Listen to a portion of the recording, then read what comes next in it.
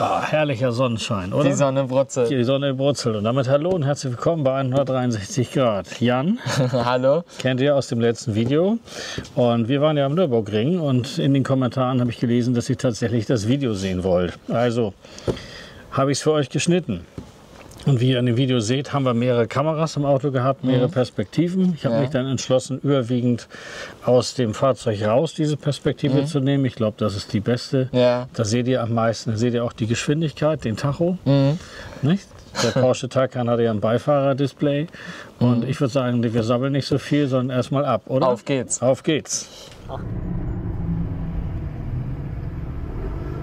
So, Jan, das ist jetzt Kaffeefahrt. Das wird eine zügige Kaffeefahrt, aber so richtig langsam können wir nicht machen.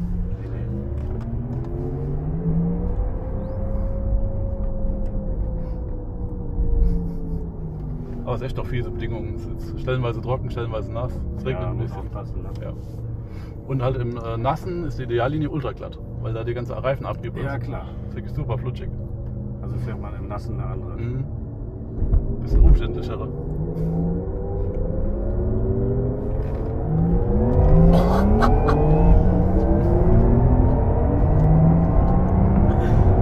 Ja, ist nass.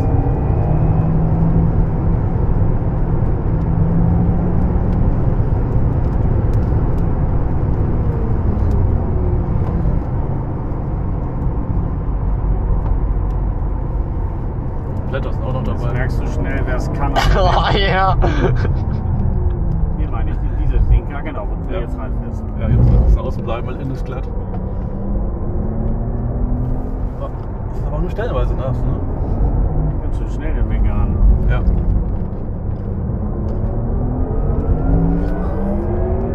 Hier ist die alte Tribünenanlage. Ja, rechts. genau, hier ist diese T13.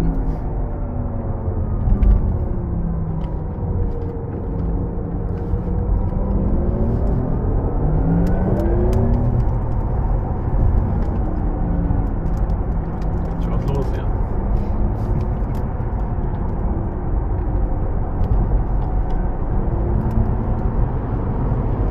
Ich möchte den Sonne nicht vorbeilassen.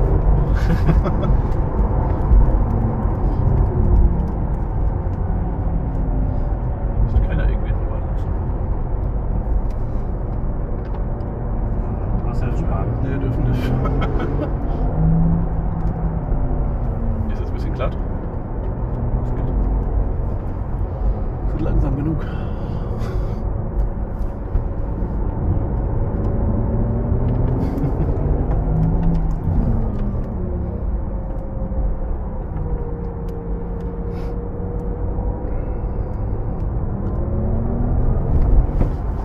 Sorry.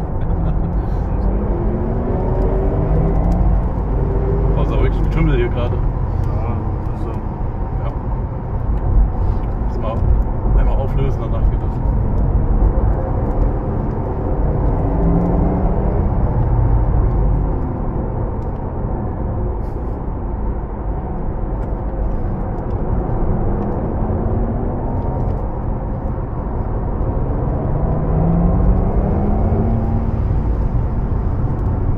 Komm, gib Gas, gib Gas.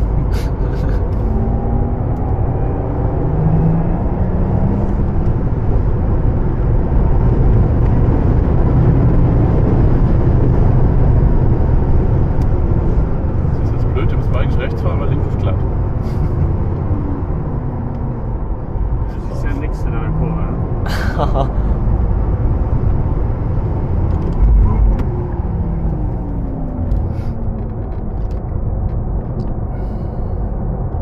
Schade, dass es so nass ist. Das wäre alles viel spektakulärer am Trocknen. Das ist schon spektakulär genug. Ja.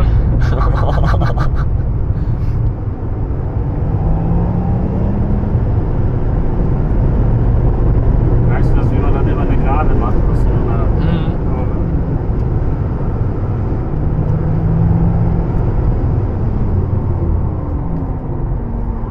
Vieles muss er sagen. Ne? Ja, alles gut. Ja. Ist kein Problem. Also, ich fahr- ich fahr extra für euch, nicht für mich. Ja. Wenn es zu, zu krass ist, sagt Bescheid. Hier zum Beispiel musst du ganz langsam sein, aber hier Ja, glatt. Pass auf, wenn ich jetzt normal einlenke. Ja, ja. Alter.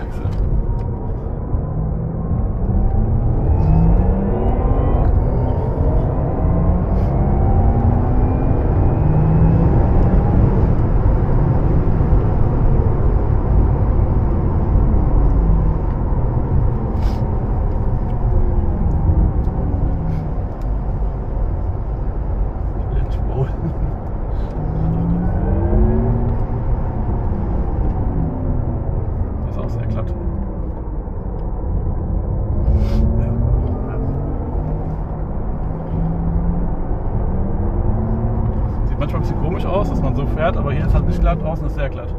Auf der Ideallinie. Deswegen fährt man manchmal so komisch über die Linien.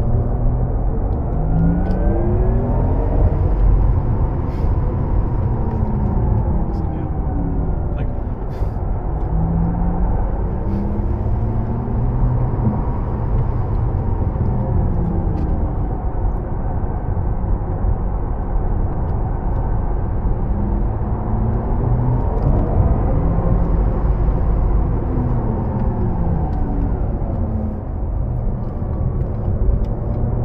Wie das hier runtergeht. Ne? Mhm.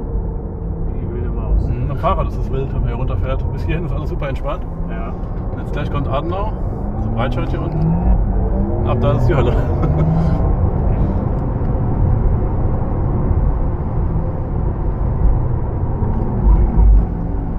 Schlechteste Stelle, um einzuschlagen übrigens. Stahlbeton. Das passt jetzt aber, glaube ich, gerade nicht.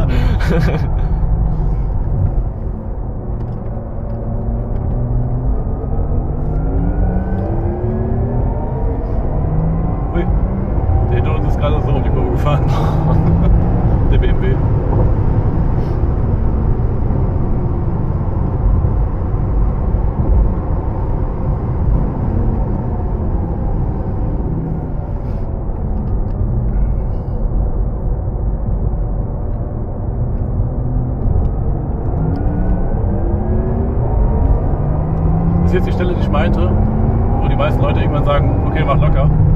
Weil im Trocknen fährt man die komplett mit Vollgas die ganze Zeit. Oh, zum Glück Aber ist nass. Das ist aber nass.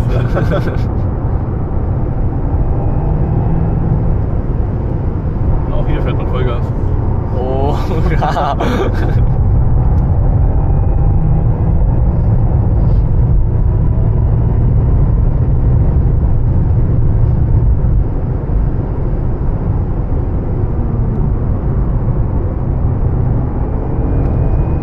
Das ist die Mutkurve.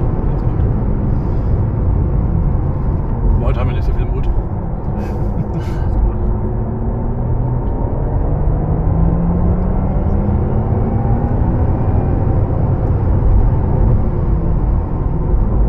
Ist ja krass, dass es hochgeht und man nicht weiß, wie es weitergeht.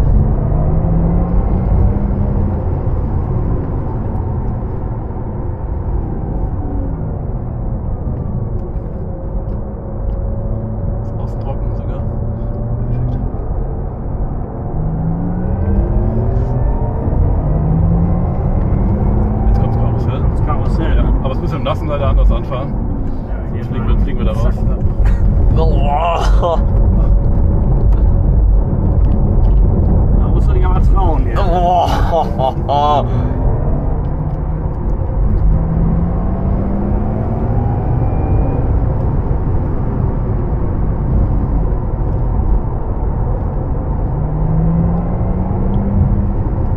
Karussell ist ganz schön steil. Ne? Mhm, Das ist wirklich wilde Maus.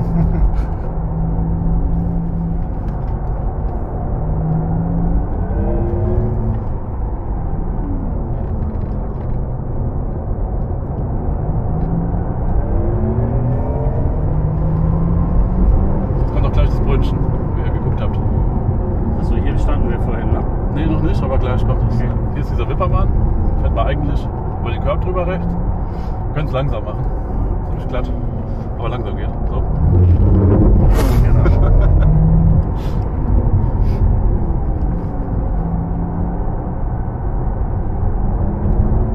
Jetzt nach der Linkskurve kommt das Brötchen.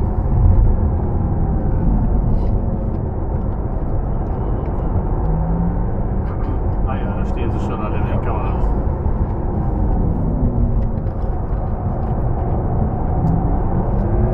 Da standen wir auch vorher. Genau, und hier wollten wir hin. auf- Ja, hier wird am meisten gefilmt, weil die Leute hier rausdriften. Ja.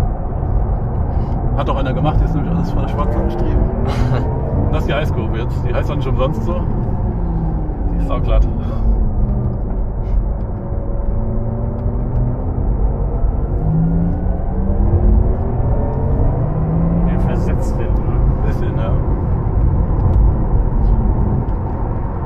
Hier hebt man ein bisschen ab, aber es ist leider zu nass, um das richtig zu machen. Hier standen wir vorhin mit man dem merkt. AMG. Ja.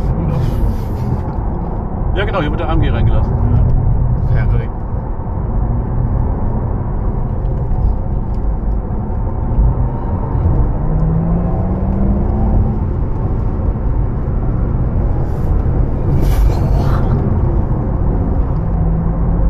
Teilweise die Jahrlinie trocken.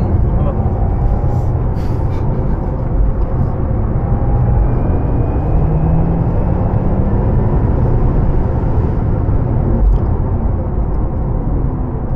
Ist trocken, oder? Ja.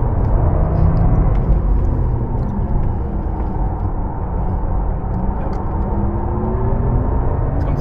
Karussell ist das, wenn man das Füßchen so anhebt, wenn man quasi, wenn man, wenn man eigentlich, eigentlich so anfährt, quasi, dann jetzt fällt er so an.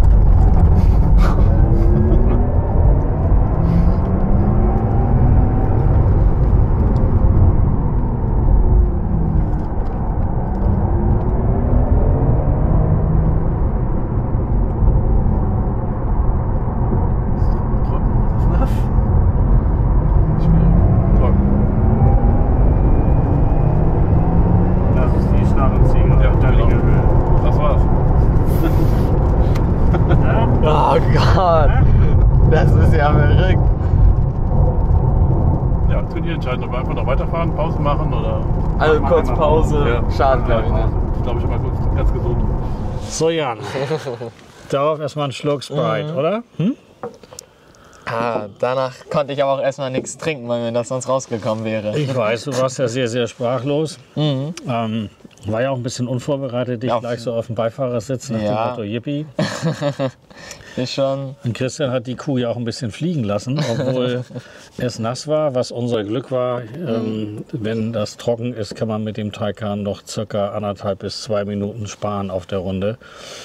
Dann hätte er die Kuh richtig zum Fliegen Gute gebracht. zwei Minuten könnte man noch rausholen. Genau. Tja, was sagt der Taycan auf der Nordschleife? Also ich fand es beeindruckend, Irre. was da so möglich ist, fahrwerkstechnisch, bremsentechnisch. Hat auch viel mit dem Fahrer natürlich zu tun. Christian kann das. Lieben Dank, Christian, an dieser Vielen Stelle, Dank dass du das mit uns gemacht hast. Und wir kommen wieder, also ganz bestimmt. Aber es Ja. hat sich ja ein bisschen was verändert, denn äh, bis jetzt hast du immer in deiner Fahrschule ein bisschen gedoktert. Jetzt sehe ich dich woanders auf dem Bildschirm, wenn ich mal auf deinen Bildschirm gucke. Was ist los? Ähm, ja, also das Interesse an den Nürburgring ist nach der Tour auf jeden Fall geweckt. Aha. Ich fand sehr.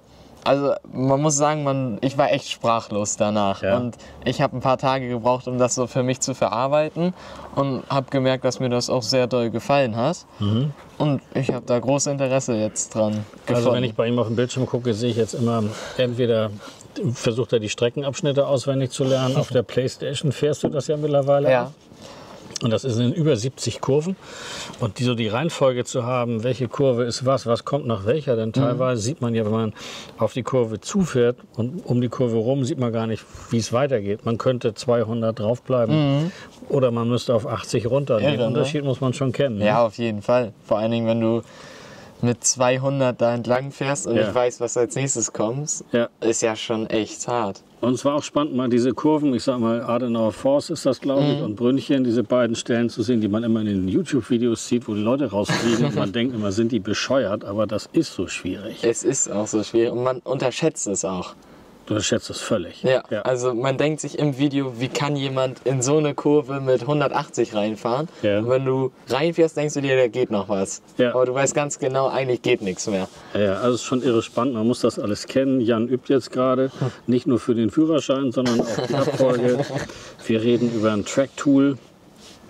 Irgendwas preiswertes, aber so preiswert sind die alle gar nicht. Und für uns ist das natürlich auch eine Ecke weg. Das sind, Ja, wie ihr in dem. Video gesehen habt, 500 Kilometer, die man dann mit so einem Track-Tool darunter orgeln müsste. Das ist alles schon sehr weit. Also wenn man da wohnen würde, dann wäre das sicherlich ein Thema. Sinnvoll. Ja.